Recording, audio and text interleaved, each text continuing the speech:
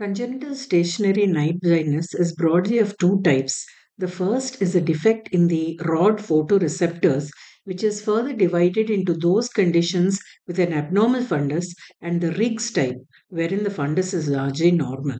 The second type is due to a transmission defect from photoreceptor to bipolar cells and is called the Schubert Bornschein type.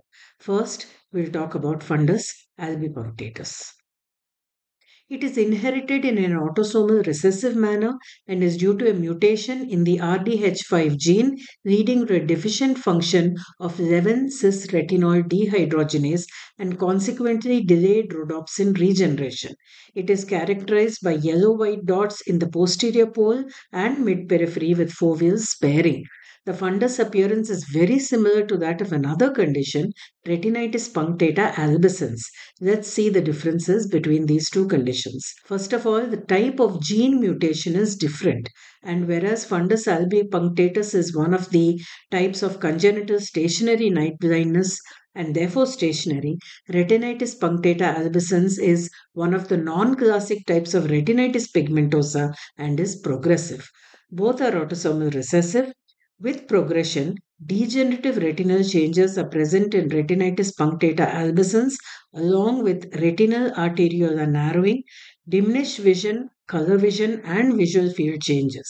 In fundus albipunctatus, the dark adaptation curve and ERG normalize after prolonged dark adaptation, a feature that is absent in retinitis punctata albescens.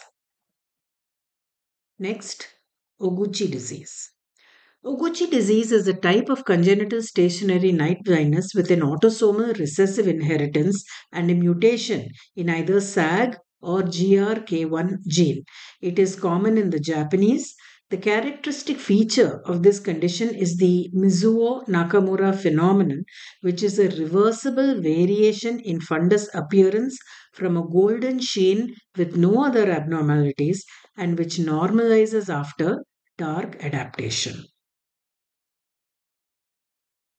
The Riggs type of congenital stationary night blindness, which may be either dominant or recessive, is rather mild with only night blindness, normal photopic visual acuity, and no nystagmus or strabismus. The Schubert-Bornschein type is the most common form of congenital stationary night blindness. To recollect, it is due to a transmission defect from photoreceptor to bipolar cells. It is further divided into an incomplete and a complete form based on the site of malfunction. The incomplete form affects both on and off signaling pathways, whereas the complete form affects only the on signaling pathway. Fundus albipunctatus and Oguchi disease are easily distinguished by their characteristic retinal features. The only way to differentiate these two is by an electroretinogram.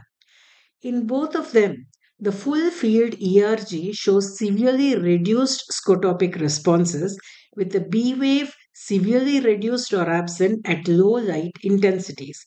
However, after a bright flash, both A and B waves are reduced in the Riggs type, whereas the A wave is normal in the Schubert-Bornschein type. So that's it for today. I'll see you in the next video.